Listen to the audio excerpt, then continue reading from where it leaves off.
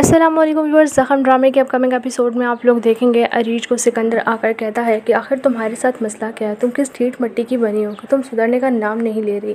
कितनी बार तुम्हें समझा चुका हूँ कि अपने इस रवैये में तब्दीली आओ जिस पर अरीज कहती है, तुम ज़ोर ज़बरदस्ती से कुछ भी नहीं कर सकते। तुम नहीं जानते कि अगर प्यार से बात करोगे ना तो मैं कुछ भी करने को तैयार हूँ, मगर तुम्हारा ये गुस्सा मुझे बिल्कुल भी पसंद नहीं।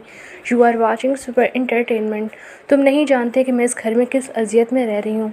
मुझे तो ऐसे लगता है जैसे मुझे ज़िंदा दफना दिया गया कब्र में, जिस पर सिकंदर कहता है, ये आलीशान घर तुम्हें कब्रस्तान लग रहा है। अगर यही बात है तो चलो ठीक है, मैं इस घर को ही तुम्हारे लिए कब्र बना दूँगा। फिर पड़ी रहना अपनी ख्वाहिशात को अधूरा लेकर इसी कब्र में।